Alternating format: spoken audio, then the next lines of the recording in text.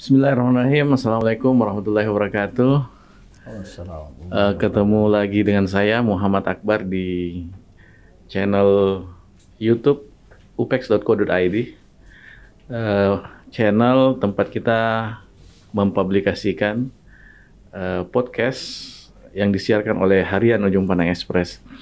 Jadi channel ini bisa Anda nonton di YouTube, bisa Anda dengarkan di Spotify, dan Anda bisa baca beritanya di portal upex.co.id dan koran harian bisnis Ujung Pandang Express. Alhamdulillah hari ini kita kedatangan tamu, tamu yang sangat istimewa. Eh, Kepala Madrasah Sanawiyah atau yang biasa kita kenal dengan Madrasah Digital di Makassar, Bapak Zulfikar Nur. Assalamualaikum Pak. Waalaikumsalam warahmatullahi wabarakatuh. Alhamdulillah. Alhamdulillah di tengah kesibukan beliau, beliau sempat hadir uh, di tengah-tengah kita uh, untuk bercerita banyak tentang perkembangan sekolah, utamanya Madrasah Sanawiyah. Mungkin di Makassar ini satu-satunya sekolah yang uh, yang uh, mengklaim diri sebagai sekolah digital, pak ya, serba digital. Memang selama dua tahun ini kita dipaksa untuk serba digital karena pandemi, tetapi Uh, bukan karena pandemi, uh, sekolah ini mengusung uh, sebagai madrasah digital.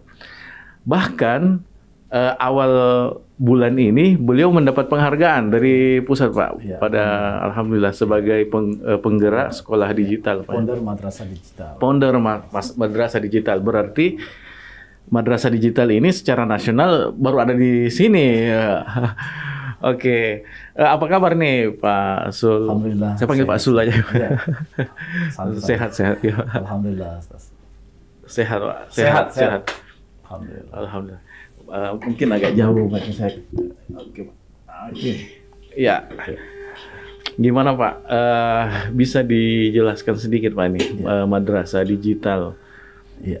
Ya. Uh, Terima kasih atas uh, amanahnya hari ini untuk berbagi. Yeah. Jadi kami selaku Kepala MTS Negeri 1 Kota Makassar uh, punya agen perubahan. Yeah. Agen perubahannya itu adalah uh, madrasah digital untuk menjawab tantangan revolusi, revolusi industri 4.0. Jadi uh, saya ceritakan dulu kronologisnya mengapa muncul ide seperti ini. Siap. Jadi Uh, waktu 2018 yeah. kami pemenang kepala madrasah berprestasi juara satu uh, nasional. Yeah. Waktu itu kami uh, dikirim ke luar negeri oleh Pak Direktur uh, GTK itu dulu namanya Pak Prof Sitno. Yeah.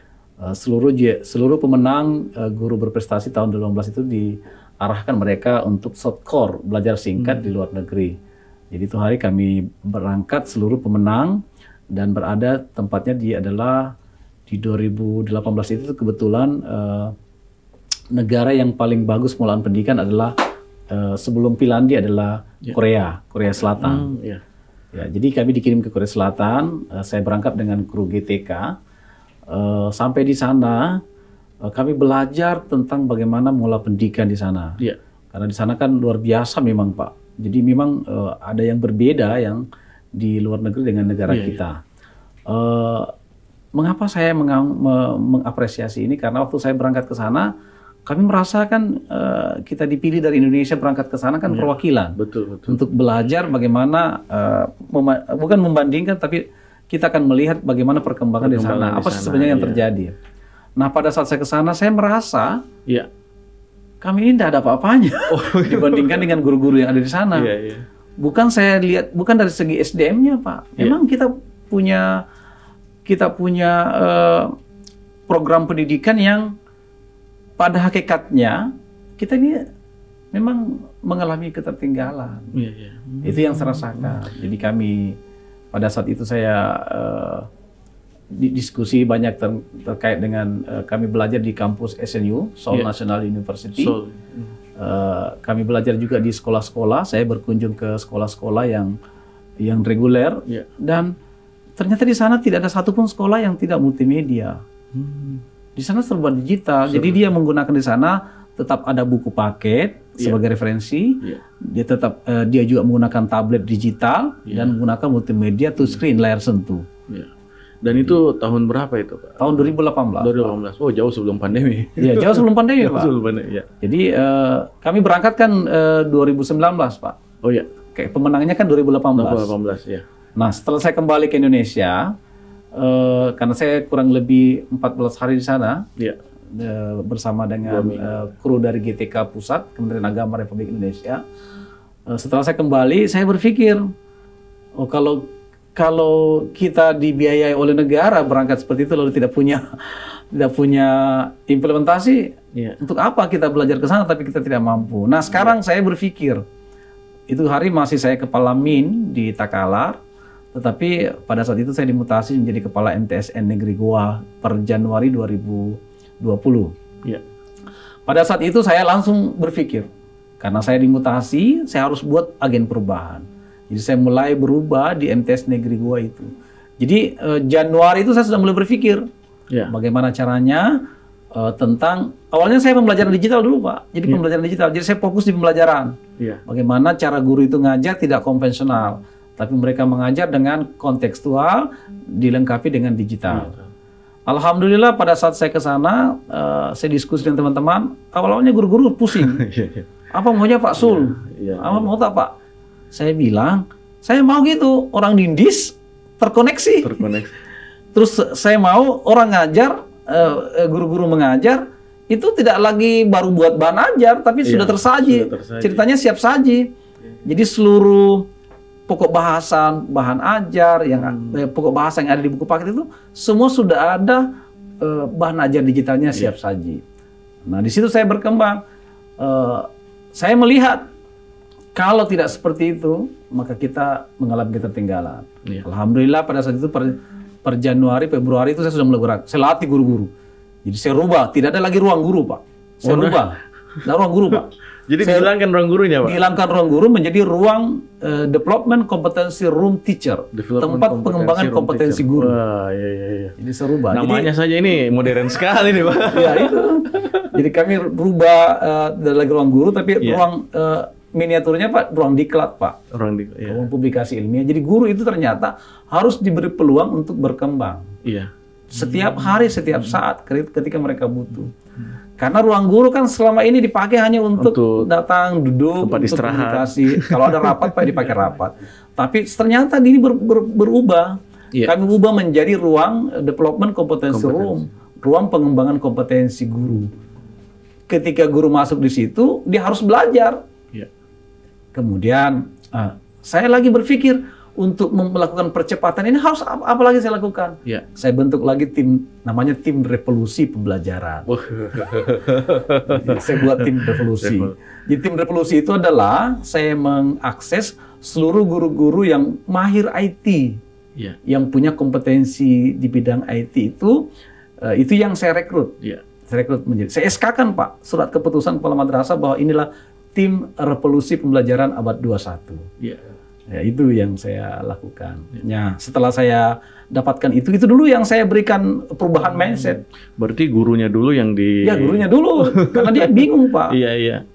Jadi gurunya dulu yang saya lakukan uh, perubahan, perubahan mindset cara berpikirnya. Iya, betul. Bahwa kalau kita seperti ini ngajarnya, maka sampai kapan pun Indonesia tidak bisa maju dalam hal Akan pendidikan. Begini, terus. Iya. Pengaruh teknologi sangat mempengaruhi terhadap perkembangan iya. dan kompetensi siswa dan kompetensi guru. Percepatan pembelajaran iya. dibutuhkan teknologi. Dibutuhkan Kalau hanya manual tidak bisa, Pak. Hmm. Nah sekarang waktu pada saat itu saya bentuk tim revolusi, pembelajar, revolusi pembelajaran, iya. kemudian uh, itu tadi uh, saya menggunakan pelatihan-pelatihan dalam bentuk multi level, Pak. Jadi tim hmm, revolusi jadi ada itu tingkatan-tingkatan. Misalnya gurunya sekitar uh, kurang lebih 60, ya. itu uh, tim revolusinya ada 12. Ya. Itu saya bagi 60 itu, Pak. Bagi 12, Pak.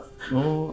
Nah, jadi dalam jadi, satu tim revolusi harus mampu melatih uh, 10 orang. 10 orang. Oh, iya. Nah, bisa lima orang kan kan 60 Pak dibagi ya. 12, oh, Pak. Oh iya iya iya. Ya, enggak sampai 10. Enggak sampai 10 Pak. ya. Itu. Jadi lebih kecil pak, mungkin satu bisa sampai lima, dua, ya. dua, bisa sampai empat orang. Bisa sampai empat orang. Ya, tapi itu tidak uh, itu berjadwal. Jadi uh, itulah yang diisi oleh ruang-ruang ruang apa tadi ruang publikasi, ya. ruang development kompetensi pak. Jadi namanya ruang ruang kompetensi guru. Jadi masuk situ. Jadi ruang guru sekarang maunya seluruh Indonesia. Iya. Justru seperti itu. ruang guru itu ruang bukan sekedar hanya untuk duduk saja dan iya. bersantai atau ada penyimpangan. Jadi ruang guru tidak boleh ada buku-buku di situ. Betul. Di situ memang ruang diklat, Pak. Jadi iya. balai diklat yang dipindahkan ke madrasah. ya, supaya update terus perkembangan Betul. dalam dunia pendidikan. Inilah yang saya lakukan. Jadi kan uh, pandemi itu kan parah-parahnya kan di bulan April ya. April, 20, April 2020. Ya, 20. Jauh sebelumnya pandemi kami ya. sudah memikirkan itu, Pak. Berarti sudah siap-siap semuanya. Sudah siap, gitu, Pak. Nah, di perjalanan Pak, yeah. teman-teman tim revolusi menemukan aplikasi. Hmm, aplikasi menemukan aplikasi dan itu mudah sekali Pak kan ada di Google Pak. Orang aplikasi bisa itu, Pak, ya? orang bisa uh, buka dengan secara mandiri melalui, melalui Play Store. Yaitu jadi yang dipakai dalam pembelajaran sekarang ini uh, aplikasinya itu adalah pertama atau Play, yang kedua adalah Makromedia, hmm. yang ketiga adalah uh, Google Site, hmm. yang keempat adalah Microsoft Office 365, yeah. kemudian PowerPoint Experience Suite, kemudian hmm. uh, Frazy yang langsung ada tambahnya Frazy. Itu untuk uh, aplikasi bahan ajar Banyak. digital. Dan itu bisa diakses semua. Oh, semua orang bisa akses Pak. Ada tutorialnya oh. di YouTube. Iya, ada, iya, iya. orang semua bisa lakukan itu. Uh, kemudian uh, untuk uh, mendukung itu ada lagi untuk penilaian ya, karena yeah. kan sekarang kan udah lagi zamannya anak murid, uh, guru itu memeriksa manual, nggak boleh lagi. iya, iya, Sekarang nilai harus transparan. Transparan. Ketika belajar hari ini, hari ini harus ada nilainya, kelihatan di depan, ada rekapnya. Iya. Nah, untuk mendukung asesmen penilaian dalam di era digital ini, uh, kami telah menemukan, eh, bukan menemukan ya, kami telah mendapatkan informasi, ternyata uh, kita menggunakan uh, misalnya games dan assessment itu adalah ada namanya Mentimeter, yang kedua adalah Kahot, yang ketiga adalah uh, quizzes, yang keempat adalah Google Form. Dan itu Pak Sul hafal semua nama aplikasinya luar biasa. Iya kan sering dipakai jadi. nah, jadi guru Betul. itu ya. uh, tidak mesti memakai semuanya. Dia bebas memilih mana ya. yang mereka mau. Yang penting mampu dan bisa kemampuan itu.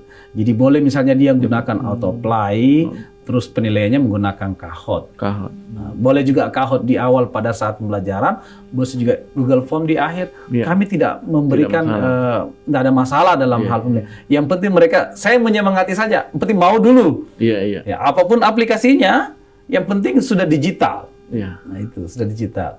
Karena ini sebenarnya uh, bagusnya Pak, karena layar sentuh Pak. Jadi kami gunakan yeah. uh, multimedia layar sentuh touchscreen. Jadi ketika tinggal klik saja geser-geser pan geser-geser saja ya. langsung saja misalnya ini layar televisi iya. kita geser saja hmm. kayak breaking news pak berarti sudah tidak pakai anu ya. ya papan tulis ya, tidak ada kita itu ya? isinya jadi kan uh, selain uh, bahan ajar digital guru juga harus mampu membuat LKPD digital jadi anak-anak lagi itu tidak mesti dia bawa buku catatan sejumlah mapel oh, pak ya betul. dia Jadi, hanya satu buku saja pak Yeah. Dia itu adalah resume saja, ringkasan-ringkasan yang pada saat PBM berjalan mereka mencatat-catat hal yeah. yang iya. pokok-pokok saja. Tapi ketika mereka mau menjawab soal-soal assessment di penilaian dan uh, pada saat mata pelajaran, yeah. mereka harus uh, mengisi dengan menggunakan LKPD digital. Artinya soalnya sudah ada, uh, stimulusnya juga sudah ada, jawabannya juga ada di stimulus, di hmm. rangsangan rangsangan uh, rangsangan soal itu mereka tinggal klik-klik saja jawab, ketik saja langsung masuk kan yeah. sudah ada, sudah bisa langsung uh, login. Nah, setelah selesai kirim ke gurunya, kirim saja lewat online. Jadi memang uh, kalau menurut saya ini kalau bukan sekarang kapan lagi? Betul betul. kalau bukan sekarang kapan lagi? Kapan lagi Indonesia ini uh, khususnya di Sulawesi Selatan ini memiliki mindset pembelajaran dan ini murah pak. Iya. Ini tidak berbayar pak. Oh aplikasi apa? aplikasinya mudah didapat, ya, ada open di source, open source. ada di Google, ya. gratis juga. Kemudian uh, uh, cara kerjanya juga mudah. Ya. Kemudian uh, ya, saya katakan kalau lagi ada yang mampu lagi buat aplikasi yang terbaru lagi itu itu salah satu bentuk uh, inovasi daripada guru untuk mengembangkan yeah. pembelajaran. Tapi kan sekarang kan kita diberi kewenangan, silakan Anda berbuat yang penting terjadi sebuah percepatan, percepatan pembelajaran. pembelajaran ada hasil yang yeah. dituju yang yeah. yang berapa lama proses uh, penyesuaian guru-guru ini Pak dari model konvensional ke digital ini? Iya, uh, sebenarnya kalau saya melihat kan saya kan pelan-pelan Pak. Iya, iya. ya namanya uh, hal yang baru itu butuh butuh itu penyelesaian. Awalnya yeah, guru yeah. saya juga banyak yang mau pindah pak, stres dia. Pak, gimana maunya ini? Dan saya bilang